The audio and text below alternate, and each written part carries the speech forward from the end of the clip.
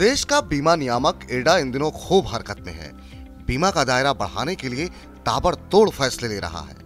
चिंता भी वाजिब है। नियामक की ही रिपोर्ट बताती है कि साल 2020-21 में देश में बीमा की पहुँच महज 4.2 फ़ीसद थी। इसमें 3.2 फ़ीसद जीवन बीमा और एक फ़ीसद गैर जीवन बीमा शामिल है। देश में बीमा की पहुँच बढ़ाने के लिए नियामक ने कंपनियों को बिना पूर्व मंजूरी के नए जीवन बीमा उत्पाद और राइडर लॉन्च करने की मंजूरी दी है। इन उत्पादों को नियामकीय मंजूरी के लिए बाद में फ़ाइल किया जाएगा। कुछ दिन पूर्व ही स्वास्थ्य और साधारण बीमा उत्पादों के लिए भी इसी तरह की छूट दी गई है। हालाँकि इस तरह की छूट के तहत जारी किए जाने वाले उत्पादों की नियामक समीक्षा करेगा। अगर इन उत्पादों में कोई खामी नज़र आती है तो उनमें बदलाव कराया जाएगा। इस प्रक्रिया में ग्राहकों के हितों की सुरक्षा सुनिश्चित की जाएगी। ईडा को उम्मीद है कि यूज़ एंड फ़ाइल की सुविधा मिलने से बीमा कंपनियाँ ज़रूरत के हिसाब से उपयोगी और आकर्षक उत्पाद लॉन्च करेंगी।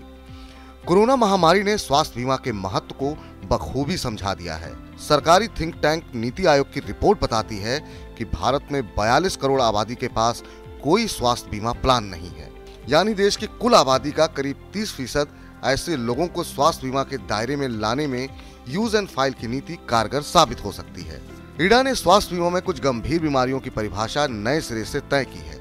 इससे बीमा दावों के खारिज होने की आशंका कम होगी, बीमा क्लेम मिलने में आसानी होगी। साथ ही बीमा कंपनियों को भी इस बारे में स्पष्ट संदेश मिलेगा कि गंभीर बीमारियों से जुड़े कवर में किन बीमारियों को शामिल किया जाना है। बीमा नियामक ने सरकार की ओर से संचालित प्रधानमंत्री जीवन ज्योति बीमा योजना में बीमा कंपनियों की भागीदारी बढ़ाने के लिए पूंजीगत जरूरतों से जुड़े मानकों में ढील दी है। इससे बीमा कंपनियाँ जीवन ज्योति योजना के तहत कई और पॉलिसियों की पेशकश कर पाएँगी। इससे समाज के निचले तबके के लोगों को वित्तीय सुरक्षा मुहैया कराने में मदद मिलेगी। देश में फ़सल बीमा योजना लंबे अरसे से चल रही है, लेकिन इसका लाभ उठाने वाले किसानों की संख्या कम है।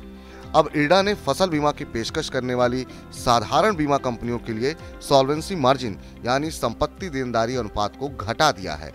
सॉल्वेंसी मार्जिन बीमा कंपनी की वित्तीय सेहत का प्रमुख संकेत है। इस फैसले से बीमा कंपनियों के हाथ में 1400 करोड़ रुपए की नकदी आएगी और कंपनियाँ इसका इस्तेमाल नए किसानों तक पहुँचने में कर सकती हैं। इरडा की ये पूरी कवायद देश में बीमा की पहुँच बढ़ाने के लिए किए गए सुधारों की कड़ी का हिस्सा है। मनी नाइन के लिए देवेंद्र शर्मा।